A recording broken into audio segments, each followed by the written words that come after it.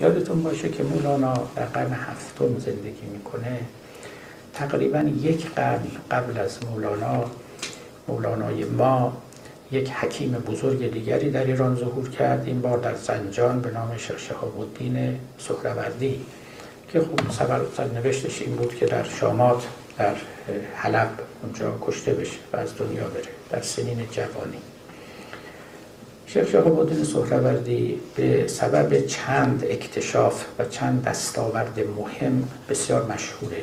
یکیش به خاطر حکمت خسروانیه که توجه داشت به حکمت ایرانیان باستان حتی ایرانیان پیش از یونانیان. و در آثار خودش اسمهای ایرانی زیادی استفاده کرده. مثل نور اسفه بود یعنی سپه بود انوار اسفه بودیده هرمز کیخسرو و کلمات دیگری رو که به عربی مثل فیشجا یعنی پیشگاه و امثال اینا. و یکی به خاطر حکمت اشراق که بنای فلسفه خودش رو بر نور نهاده است نور در مقابل ظلمت. و یکی دیگرش که متفرع بر اینه بر مسئله خیاله.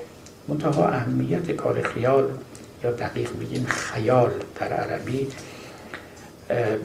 اهمیت خیال نزد شیخ شهاب سهروردی این است که خیال اصلا یه عالمی است یه عالم بیرونی است ابجکتیو نه اینکه یه امری است در ذهن ما. و عجیب است که مولانا که یک قرن پس از شیخ شهاب آمده و علائمی دیده نمی شود که ایشان آثار شهاب الدین سهروردی رو خوانده باشد. وقتی که از خیال سخن میگه امبیولنته یعنی دوگانه است. گاهی از خیال منظورش خیال متصله یعنی همین خیالی که نزد آدمیان است. خیالی که من دارم خیالی که شما دارید خیالاتی که من می‌کنم رویایی که من می‌بینم اینو بهش خیال متصل. گاهی هم منظورش خیال منفصله. خیال منفصل یعنی همون عالمی جداگانه در خارج که نه عالم ارواح و نه عالم ماده است. یک عالم دیگری که شهاب سهروردی اسمهای مختلف هم بر رو گذاشته. گاهی میگه اقلیم هشتم. چون جهان رو بر هفت اقلیم تقسیم می‌کردن. اقالیم سبعه.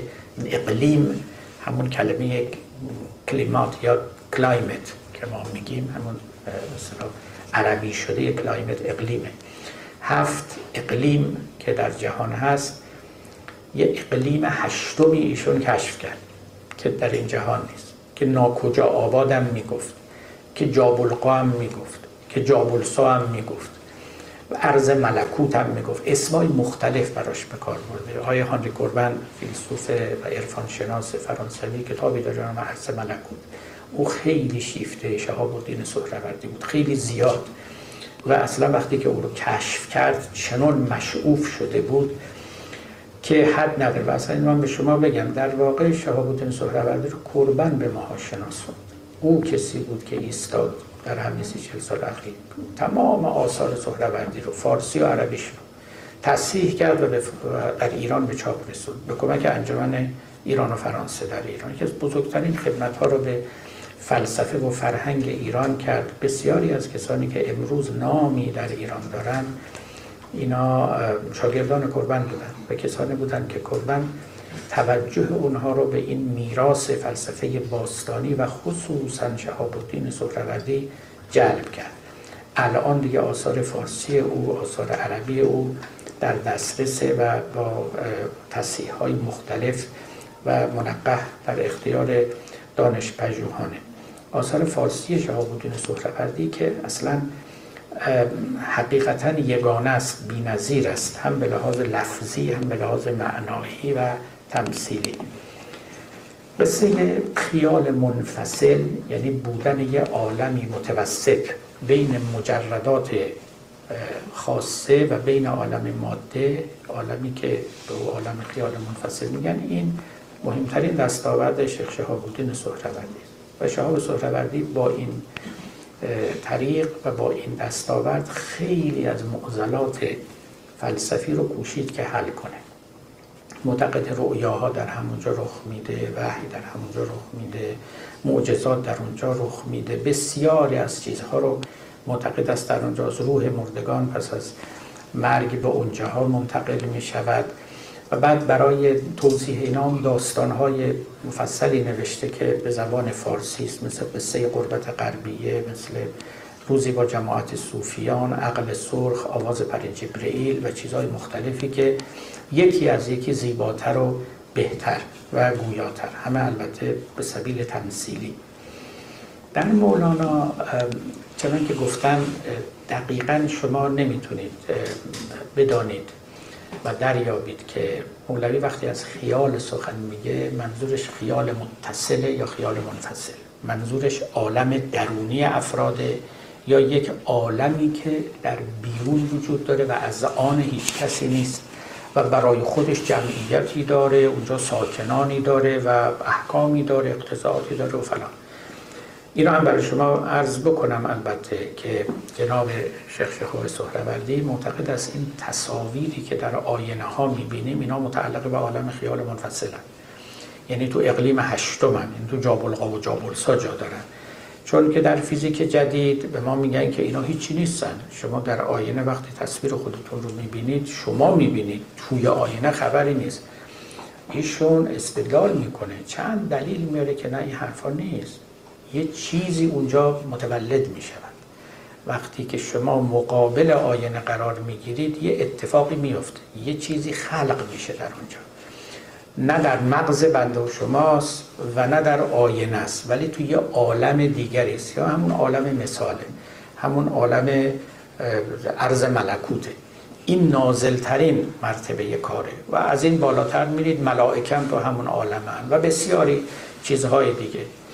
حالا بگذاریم بعدها شیخیه و در صدرشون آقای شیخ احمد احسایی که الهام بخش بابیت و بهایت بود ایشون هم این سرزمین های جابلغا و جابلسا و اینا رو گرفت و یک افسانه هایی در اطراف اونها بست.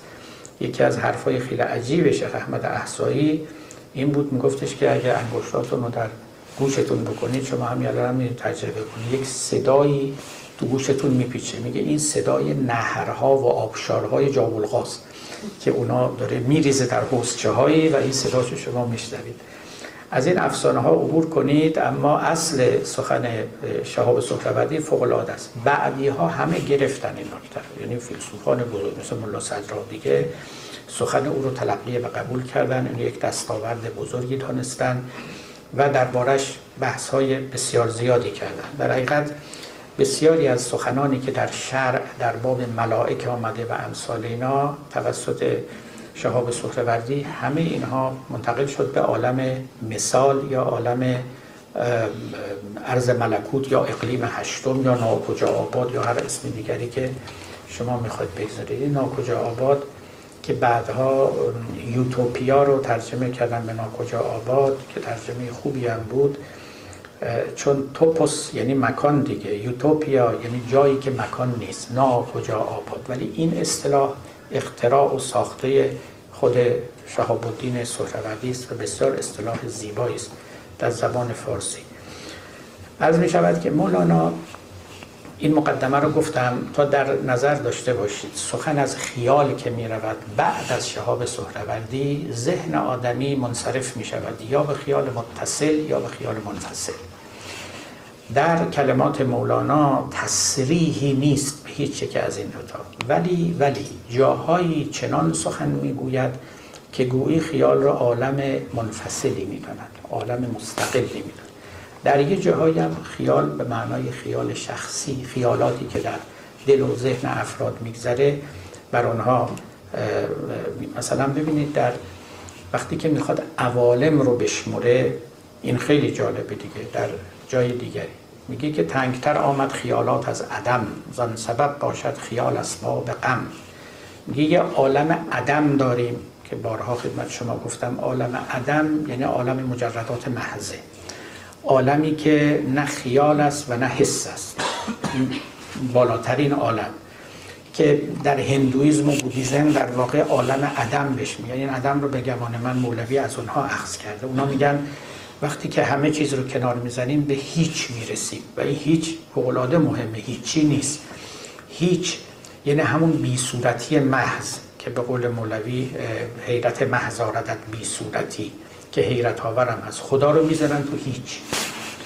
به قول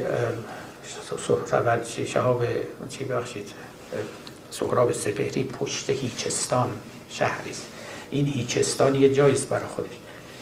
پس تنگتر باشد خیال از خیالات از عدم زان سبب باشد خیال اسباب غم. میگه یه عالم عدم داریم که این عالم بسیار فراخ و گسترده است. غم در اونجا نیست. قبض در اونجا نیست چون فراخ است. هیچ قید و حدی نداره. عالم خیال یه عالمی قدری تنگتر از اونه. و همین دلیل وقتی شما تو عالم خیال قرار می‌گیرید غم و قسم سراغتون میاد. باز هستی جهان حس و رنگ تنگتر آمد که زندانی است تنگ. از عالم خیال که میاد پایین می‌رسید تازه به عالم حس و رنگ. عالم محسوسات. میگه اینا دیگه خیلی تنگتره. از عالم خیال هم تنگتره. پس سه عالم بر حسب فسحت و وسعت و فراخیشون داریم. عالم حس و رنگ عالم خیال و عالم عدم به تعبیر مولانا. و در همون ابیات مشهور مولانا هم شما این رو می‌بینید که از جمادی مردم و نامی شدم و از نما مردم به حیوان سر زدم اینجاها هنوز عالم چیه؟ عالم حس و رنگه. مردم از حیوانی آدم شدم پس چه ترسم که مردن کم شدم. همطور میره بالا بالا تا چی؟ پس عدم گردم. عدم چون ارغنون گویدم که نا الیه راجب همچون نیلوفر بروز این طرف جو همچون مستسقی حریس و آب جو مرگ او آب است و او جویای آب می خورد والله اعلم به ای فسرد عاشق ننگ نمد کوز بیم جان ز جانان میرمد سوی تیغ عشق شیننگ زنان صد هزاران نگر دستک زنان. جوی دیدی کوزه اندر جوی ریز آب را از جوی کی باشد گریز. آب کوزه چون در آب جو شود محو گردد در وی و جو او شود. نقش او فانی شد و ذاتش بقا زین سپس نی کم شود نی بدلقا. این کوزه ها و سبوها رو وقتی که در اون جو در اون دریا میریزید دیگه نمیگندن. دیگه فانی نمی‌شوند. این در واقع خیالات جزئی ما به اون عالم خیال منفصل وقتی که متصل می شود دیگه باقی می شود و از جزئیت و قیود و محدودیت رهایی پیدا می‌کنه.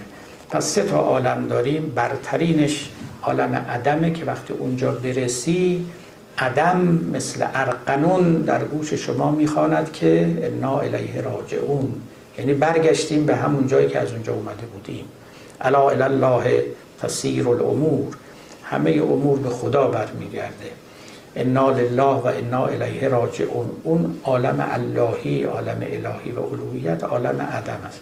گاهی مولوی اینجوری سخن میگه. گاهی هم از خیالات منظورش همین خیالاتی است که در اذهان میاد و بیشترین جولانش هم در حالت خوابه. دو سه بیت می‌خونیم تا بقیهش رو به نوبت بعد بسپاریم.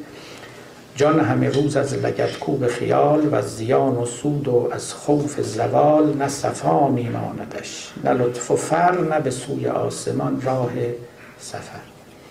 میگه ما آدمیان گرفتار خیالیم و این خیالات این داده ها این دقدقه ها این سرگرمی ها این چرک افکندن ها این گوش دادن به حرف این گوش به حرف اون نشخار کردن پاره از یاوه هایی که در ذهن آدمی آمده مناظری که پیش چشم میاد اینا پر کرده ذهن ما رو پر کرده. به تعبیر مولوی راه سفر به آسمان رو برای ما بسته. مثلا نمی‌ذاره ما به چیز دیگه بیاندیشیم. مثل یه هجاب های تیره که رو چشم شما بذاره نمی‌ذاره دیگه شما چیزی رو ببینید. خب ذهن ما پس کی خلاصی پیدا می‌کنیم پس کی راحت و فراغت داشته باشیم به همین دلیل هم هست که این بزرگان معتقد بودن تا میشه شما داده های کمتری به مغزتون بفرستیم این داده ها در حکم مگس و پشن. وول وول وول وول وول نمی‌ذارن اصلا شما. مولوی جای دیگه میگه در حکم زنبورن. میگزن شما. از بس این داده ها میگزن آدما تنها کاری که می‌تونه بکنه چیه؟ اینه که اینا رو دفع کنه. دیگه به کار دیگه نمی‌رسه. درسته؟ وقت مولوی میگه که اگه این زنبورا خیلی زیاد شدن کاری که می‌کنی یادمون داده. سرتو کن زیر آب. زنبورا میرن بعد میگه آب چیه؟ میگه ذکر خداست. یاد خداست. اینم از حیله ها و قول مولانا فرهنگ هایی است که به ما یاد میده. فرهنگ یعنی حیله و شیوه. غیر مردن هیچ فرهنگ دگر در نگیرد با خدا ای حیلهگر. میگه که این یاد این و آن یاد این فلانه و فلان این در حکم زنبورایی است که دور سر تو جمع شدن مهلت به تو نمیدن به چیز دیگه بیاندیشی. هیچ کاری نمی‌تونی سرت که بکنه زیر آب دیگه زنبورا میرن. این آب چیه؟ این آب ذکر حق